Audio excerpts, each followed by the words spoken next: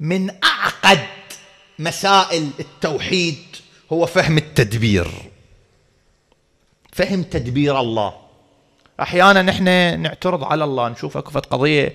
إحنا لأن بواطننا قاصره عن فهم هاي المطالب. نقول شو الله ليش هيك سوى يعني؟ هسه هاي شنو يعني إنه هذا؟ وين العدل بالموضوع؟ ليش؟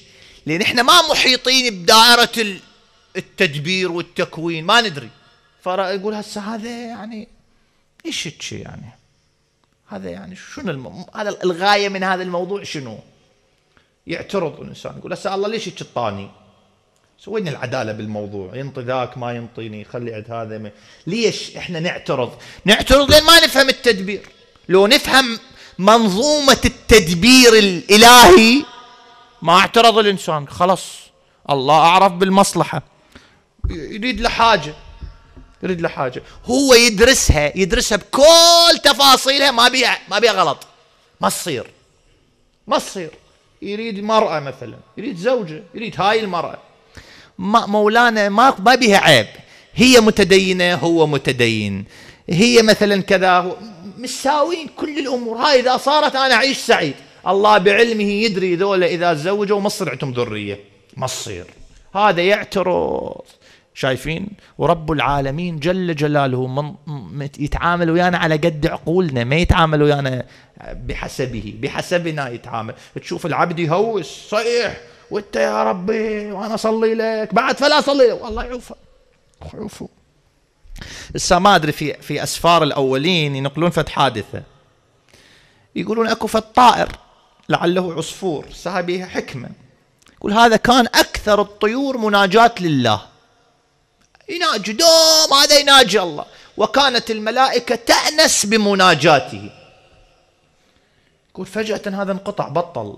لا يناجي ولا يغرد ولا يسولف ويا الله ولا الم... والملائكة فقدته. هسه يمكن هذا العصفور إنسان خليها ببالك. بس هي بيها حكم. بطل. بطل. فالملائكة استغربوا وسألوا الله عز وجل. قالوا يا ربي هذا كان أكثر الطيور مناجات سكت فجأة سكت. قام لا يعبدك لا يقرأ لك دعاء لا يناجيك. إحنا كنا نأنس بزقزقته. هذا سكت. يقول الله عز وجل أو حاله بطريق وآخر قال له عبدي أنت كنت تناجيني بطلت. قال له إيه أنا زعلان. أنا بعد ما ما ما أدعيك ولا أناجيك ولا لدخل قال له ليش؟ قال له هذا عشي أنا بنيته صار لسنين بين ليلة وضحاها تودي العاصفة تشيل العش ليش شو مسوى أنا؟ يقول الله عز وجل قال له أنا أنا خربت لك قال له ليش بي غلط. سوي شيء مو زين. أشو أكثر الطيور أتعبد أكثر النا أكثر الحيوانات أناجي. ليش تشي قال له لقد جاءت أفعى. وانت نائم ارادت ان تلدغك تقتلك. فانا وديت العاصفة حتى تخرب عشك حتى تطير انت وهاي ما تقتلك.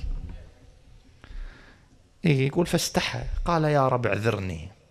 مثل هذا العصفور كم موقف مار بيك؟ تصير عند الإنسان حاجة يريدها إلا هي. الله ما يسويها. يدري إذا صارت تخرب. تاليتها مو زينة. العبد لو يفهم السالفة كان سلم أمره لله. قال له بكيفك؟ أنا ببالي هاي السالفة. تريد تسويها سو ما تريد تسويها بكيفك. أنت أعرف. فلعل الذي أبطأ عني شنو؟ هو خير لي. ليش؟ لعلمك بعاقبة الأمور. فلم أر مولا كريما. أصبر على عبد لئيم. آه إنك تدعوني فأولي عنك. شوف. شوف الأئمة معالجين هاي النقطة. يقول له الإنسان يستعجل يريد إلا هاي. وأنا ما تعطيني هاي وكذا الله يدري. إذا أنطاه هذا يخرب عليه فيخليه.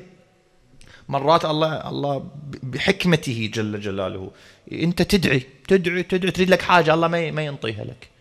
الملائكة يقولوا له يا رب هسه هذا موت نفسه اقضيها قالوا هذا بس اقضيها له بعد ما يدعيني. اي بعد ما يدعي خذاها خلاص دار وجهه وراح. بعد حتى صلاة الصبح ما يصليها. هسه يصلي صلاة الليل ويقرأ دعاء التوسل ويقرأ زيارة عاشوراء ويقرأ قرآن حتى اعطيها الحاجة. خليه يتعبد خلوه. مصلحته بيها. بس اعطيها لا يخرب. أحيانا هذا حال العبد. يريدها. والله عز وجل يدري طاع إلى هسه وخلونا هذا الملائكة وإحنا هم نأنس بمناجات خلوه يتعبد. شوفوا حكمة الله. لا تدرك ولا تفهم. مرات اكو انبياء بالتاريخ يقول لك يقول يا رب ليش صارت هاي؟ شلون؟ لأنه يعني تدبير الله لم يبقي على ذي عقل عقل.